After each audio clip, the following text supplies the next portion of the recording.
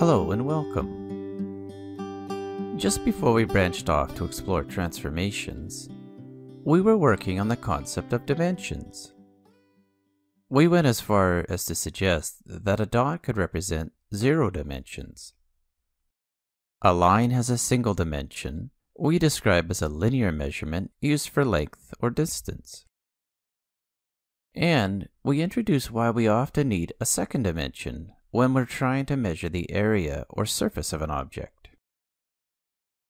Area can quickly be found by simply multiplying the two linear measurements of a rectangular shape. Area equals length times width. In the next few episodes, we're going to dive into the third dimension. We live in a 3D world. Having two eyes looking forward gives us the ability to see depth.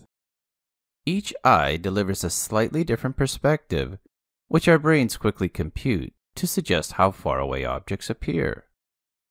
This is depth perception, or a third dimension. It's also a bit like how 3D movies are created.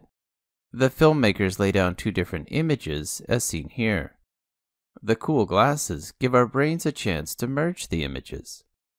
The illusion of 3D is created on a 2D screen. Adding a third dimension with our measurements opens up a whole new category. Measuring length and area are very important, but sometimes we need to know how much space something takes up. Since everything in our world is made of matter, all objects take up space. Or in the case of liquids and gases, fill the space of the shape they occupy. Like a beverage container and swimming pool, or hot air balloons and our lungs.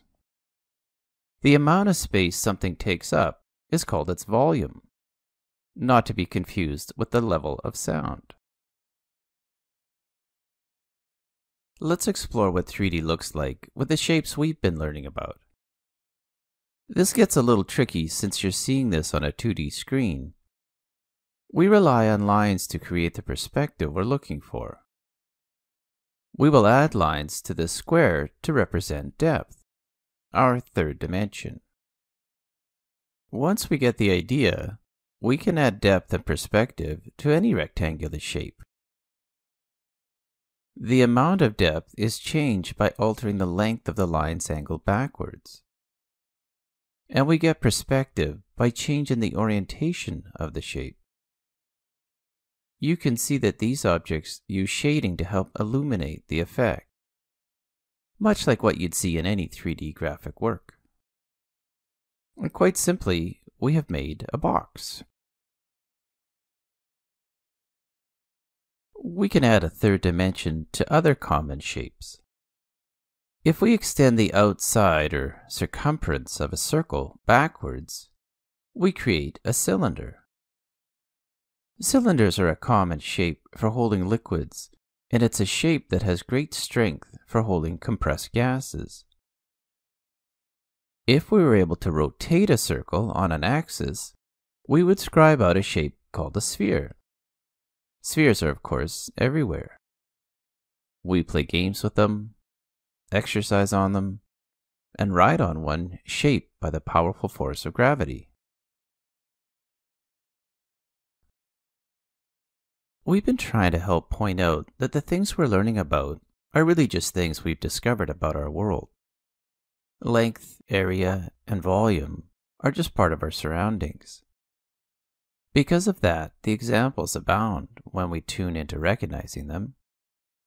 We often stop noticing the things that are commonplace. But take a moment or two and try to look at things with a fresh 3D perspective. Perhaps you could even think out of the box. In a future episode, you'll learn how to calculate the volumes of various 3D objects. Our goal here has been to just get familiar with them. Next, we'll have a look at a category of shapes called prisms.